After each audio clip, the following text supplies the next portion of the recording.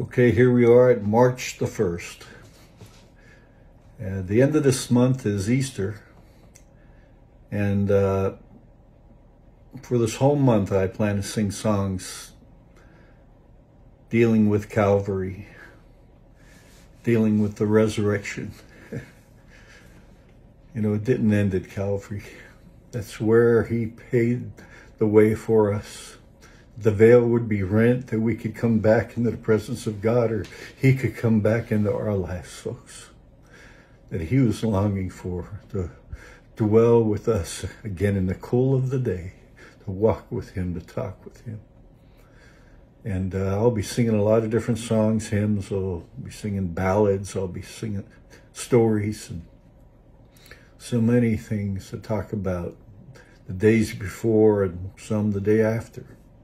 He is resurrected from the dead. And I hope they'll touch your heart and, and not only listen to, to my songs, but go, go and look these up on YouTube. Go and look these things up on, you know, on Spotify, on Pandora, what, you know, whatever, Apple Music, whatever you have. Go find these things. Listen to these different groups. They're anointed, they're blessed, and let it touch you. One, you know, during the times when Jesus was talking so plainly about how he had to die, had to be mocked, and after three days he'd rise again. But, you know, us humans, that's that's a different realm, talking about things like that. Somebody there one day and then gone the next and then back again a couple days later. Anyhow, but this is one where his concern was. And I know there's the God part of him could see all these things, how it was going to turn out. He knew about Judas and all these things, but he did everything the same for Judas that he did for the other disciples. He's loving, he's caring, and just a concern as a as a man for his sheep because he knew that they were going to be scattered when he was smitten.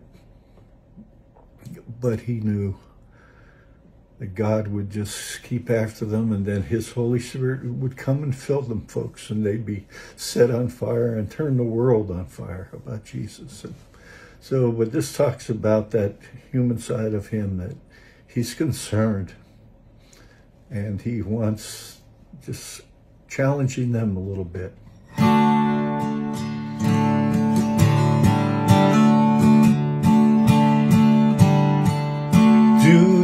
Believe in me and in the words I say and in him who sent me from above. Do you believe in my I tried so many ways to show you my love and show you who I am.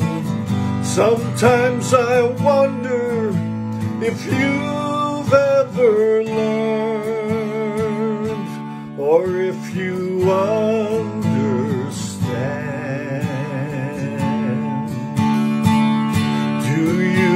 believe in me. And in the words I say and in him who sent me from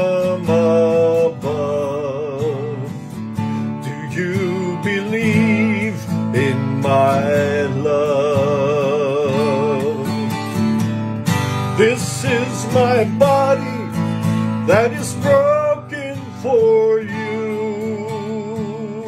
Never forget what I've done. This is my blood that is shed for you. This is what makes us one.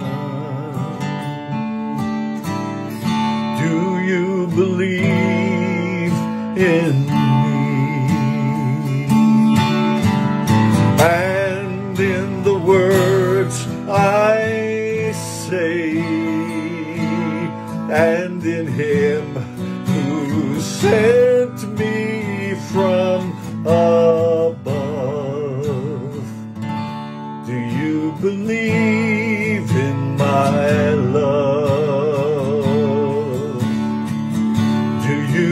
believe in my love?